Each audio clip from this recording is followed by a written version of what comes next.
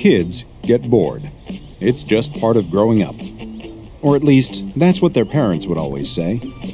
Living in a small town in England, you run out of things to do by your fifth birthday. By your 10th, you want nothing more than to move out. By your 15th, half the kids end up in hospital doing something stupid. The kid entering the churchyard tonight is no exception. As he ducks under the gap in the chain link fence, he catches the corner of his cast on the metal. The cast is already so covered in nicks and scratches that the new tear barely makes a difference. He has been trying to cut the cast off with kitchen scissors for the last three weeks. He'd broken his wrist riding his bike off the roof of his house. It would have worked if it wasn't for the post box being a little too close to the building.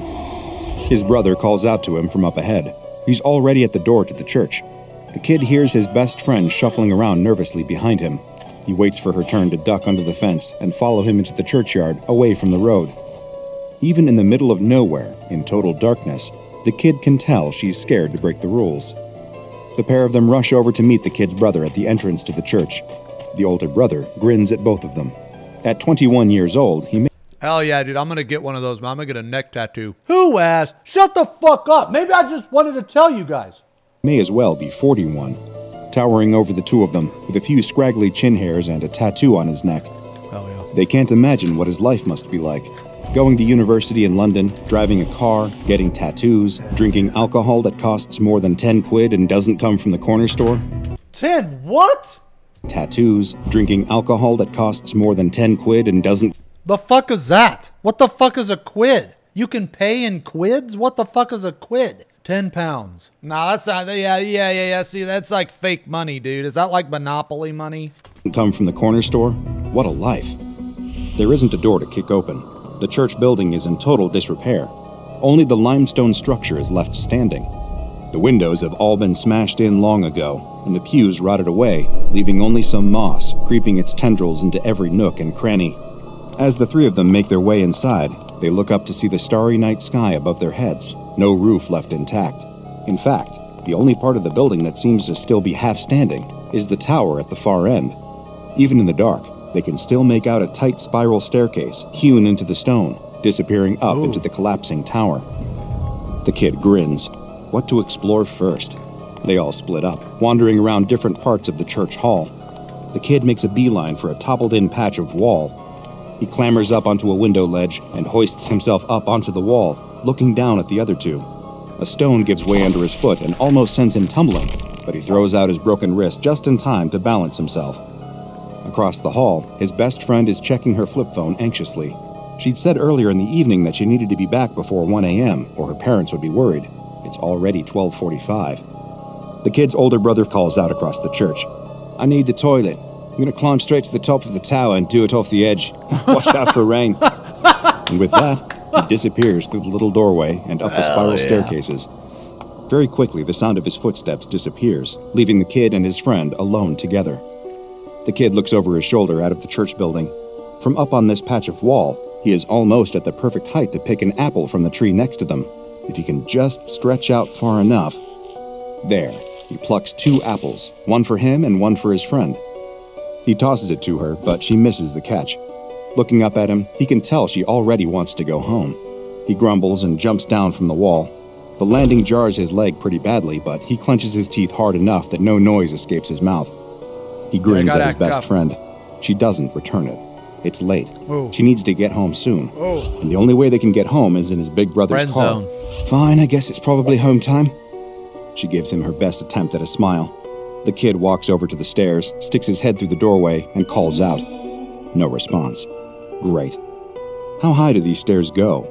They can't be more than a couple of stories, surely. He calls again. Still nothing. His best friend appears at his shoulder. They both peer up the staircase. It's such a tight spiral that they can't really see anything beyond the first ten steps. It's dark in there, almost too dark to see where they're going. Hello. He gets out his flashlight and flicks it on. Hello. That should be enough light for the both of them. The kid plants his foot on the first step and starts climbing. The steps feel well worn. They're smooth in the middle and dip down slightly from years of use. One step, two steps, three, four, five. His flashlight dies.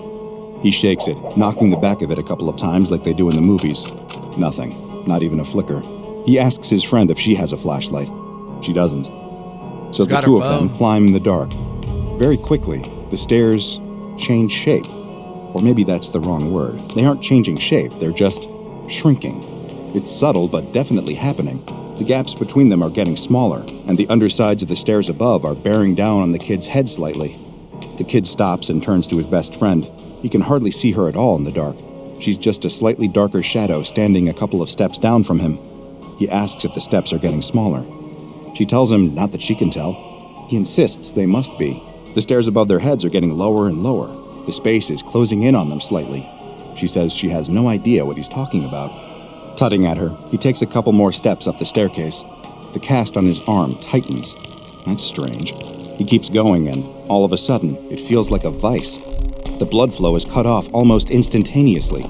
His fingers feel cold and start to tingle, his forearm swelling and bulging around the edge of the cast. The pressure building up inside it is ridiculous, feels almost as if the cast splits apart and falls off. Blood rushes back to his fingertips. He flexes them gratefully, turning to his best friend. Even in the darkness, he can tell she's peering at him intently. He runs a hand over his arm, massaging it gently. That's strange. His arm feels different from how it did before it went into the cast. There's more hair on it now, and the muscle running along his forearm feels more pronounced. He flexes his wrist. No pain, no stiffness, nothing. He isn't due to get his cast off for another month at least. Those doctors clearly don't know what they're talking about. Are you standing on your tiptoes? His friend asks from behind him. He looks down at her shadow, confused, and tells her no, he isn't. The kid apparently looks taller. Must just be uneven stairs or a trick of the light. Come to think of it, though, his best friend does look a little different standing there below him, even just from her silhouette. She isn't any taller, but her figure looks different. Her voice sounds a little lower. His brother, that's who they're after. They'd get to the top of the stairs, find him, and see what was going on. Must just be some strange optical illusions happening here in the dark. The two of them press on, continuing up the stairs. Step after step, they go. They must be up on the second floor by now, surely but there's no light ahead of them indicating any kind of exit, just more stairs. The kid asks his friend what time it is. He hears her flipping open her phone and pressing a couple of buttons, but no light fills the space. She presses them again and again. Nothing. Her battery must have died. That's the only explanation. She tries to tell him that it was almost on full a minute ago, but he doesn't really listen, because at that moment he sticks a hand in his pocket to take out the apple he'd plucked. Warm goop sticks to his fingers. His Ugh. back pocket is full of sticky mush. Little creatures wriggle around inside it. Ugh. Maggots. How had he plucked a rotten apple? It felt fine on the branch. He takes another step, hands still absently hovering over his pocket. A buzzing sound. A couple of flies brush past his fingers. What had they been doing in his pocket? He hears them drift around him and up the staircase until suddenly their buzzing stops. He crouches down and squints hard in the dark. He can just about make out two little flies lying on the stair just two steps away from him, both on their backs, legs curled. The kid reaches back into his pocket and feels around. The sticky mush is gone. Just some kind of dry, dusty substance is left. Strangely, the kid doesn't panic. He knows somewhere in his head that everything hey, happening Karen, to him is very sub. peculiar, yet he doesn't feel worried about it at all. To be honest, all he really cares about right now is making it to the top of this staircase. He takes off, running two steps at a time up towards where his brother must be waiting. Part of his mind notices that the jarring feeling in his leg from jumping off the wall is gone. No time to think about that now. Up he runs, each stride throwing him further and further. Somewhere behind him, he can hear his best friend muttering something to herself, something incoherent and garbled. Her voice definitely sounds different now. It barely sounds like her anymore. She sounds more like. more like her mother. The kid catches his foot on a step and falls. His best friend clatters into the back of him before she has a chance to stop. The two of them topple over, landing awkwardly on a step, enough to knock the wind out of him. She lies on top of him. Only, it can't be her. It feels like a fully grown woman, not his 15 year old friend. She whispers to him. Her voice doesn't sound scared at all, though. If anything, she seems a little disinterested. What's happening to us? The kid breathes heavily, struggling to get the air back into his lungs. That's when he notices the smell. Something deathly rotten is filling the ah, staircase. Oh, his friend died. Something moldy or his and decaying. brother. She seems to notice it too. The pair of them stand up straight and peer up the stairs. In the gloom, they can see it clearly enough. A person slumped on the ah. ground. The smell tells them all they need to know about this person. They should run, right now. They should run back down the staircase and out of there. Yet both of them, inexplicably and in unison, continue walking up the stairs, closing the gap on the corpse. It blocks off two whole steps, lying awkwardly on its side, slightly hunched over as if the person had collapsed in a coughing fit. The kid almost slips over. Something small is under his foot, something metallic. He reaches down and picks it up, feeling its shape and knowing almost immediately what it is. He lifts the lid and flicks the red and gold lighter on. A little flame fills the staircase with light, orange and weak, dancing around the stone. It is just enough to make out the flecks of blood coughed out of the corpse's mouth and onto the stone steps. It is just enough to see the scruffy little beard sprouting out of the corpse's face. It's just enough to make out the tattoo on the corpse's neck. The kid looks down at his older brother. Not just his older brother, but his older brother.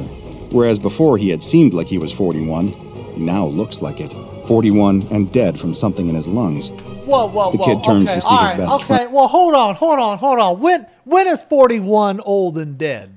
Okay, what the heck? What the heck, man? When's 41 old and dead? Man, that's messed up. Still younger than you. Ha ha ha ha ha ha ha ha. friend. A woman in her mid 30s looks back at him. Her hair even has a couple of telltale grays. She should look afraid, but her expression is almost blank. But there's a little something there, just enough of an expression to tell him that she's seeing the same transformation on his face looking back at her. The kid reaches up to touch his cheek. Aw, a yeah. wiry beard meets his fingertips. Hell yeah. They should run. They should run back down these stairs and get out of here. Call an ambulance and go home. And yet, the kid flicks the lighter closed, turns around, and steps over his older brother's body. As he walks up the stairs in silence, he hears his best friend doing the same. What the After five more stairs, his knee starts to give out. Then his hip soon after that. It gets harder and harder to stand up straight, so he lets himself stoop slightly. His best friend's breathing grows softer and wispier behind him. The pace slows down. Each step seems to take more out of him, feeling harder than the last. He needs a rest. That's all he needs. If he can just sit down for a second. His chest clamps in on itself like a vice. Blood hammers in his ears. Sweat floods across his brow in an instant, and the whole world seems to tilt around him. The kid collapses on the ground, feeling his brittle wrist snapping under him. Pain shoots through his body as his chest squeezes tighter and tighter. He rolls onto his back, gasping for air with frail lungs. The kid claws at his sunken rib cage, feeling loose, wrinkled skin under his fingertips. With a monumental effort, he flicks the lighter on to see an old woman peering at him through the dark. He can hardly recognize his best friend anymore as she gently takes the lighter from his hand and steps over his convulsing body. He watches helplessly as she continues gingerly up the stairs in silence. She doesn't look back over Holy her shoulder, fuck. disappearing around the corner, taking the light with her, leaving the kid to die an old man in total darkness. With one final gasp of air before his heart gives out on him, he clings desperately to one hope. She's going to make it to the top of the stairs. She has to. It is fortunate in many ways that SCP 723 is in such a remote area. While the church has stood on that site for hundreds of years, for much of that time it has been abandoned. Little is known about the history of the church, as many of the events around it have descended into local folklore. What is known about SCP 723 is that it is a spiral staircase housed within an abandoned church building in an undisclosed location in rural England. For all intents and purposes, it is an unremarkable set of stairs. Made from ordinary limestone from the local quarry, the steps are approximately 0.75 meters wide and worn away in the middle, apparently from frequent use. If you were to look at the outside of the church, you would see that the tower containing the staircase is not particularly tall and is in a state of disrepair. Taking a look inside that tower, however, seems to show the staircase extending up beyond the height of the tower, something that seems on the surface to be physically impossible. In fact, how high the staircase itself goes is a mystery to this day, as those studying SCP 723 are yet to find a way to see inside it beyond the first two floors. This is because every object, living or otherwise, that ascends up SCP 723 undergoes a rapid aging process. Organic creatures quickly grow older, die, and decompose on their way up the steps. Other objects behave as if a great deal of time has passed. Batteries and electronic devices go flat almost immediately. Decay is accelerated too, meaning wear and tear take place at an alarmingly fast rate. This renders any conventional methods of exploring SCP 723 obsolete. Sound and video recording equipment running on battery power quickly fail. After many attempts with different technology, recording devices linked to a robust cable were created specifically for trying to record footage beyond the first story of SCP 723. However, the video recordings failed around the second story, and sound recordings failed around the fourth. Living subjects were required to transport these devices up the staircase, and so D Class personnel were tasked with the job. Across all documented experiments, none of the subjects returned. Holy In each case, shit. a subtle change was noticed in the subjects upon crossing the fifth step. One subject paused, another gasped slightly, but beyond that, there was no physical or emotional discomfort for much of their ascent.